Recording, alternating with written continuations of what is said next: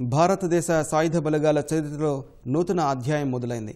భారతీయ నౌకాదళంలోకి తొలి మహిళా పైలట్గా sub lieutenant శివంగి సోమవారం విధుల్లోకి చేరారు. కొచ్చిలోని నావల్ బేస్ కేంద్రంలో ఆమె విధుల్లోకి చేరగా అధికారులు ఘన స్వాగతం పలికారు. బీహార్లోని ముజఫర్పూర్కు చెందిన శివంగి ఉన్నత విద్యాభ్యాసం అనంతరం గతేడాది భారతీయ నేవీలోకి అడుగుపెట్టి శిక్షణ పూర్తి చేశారు.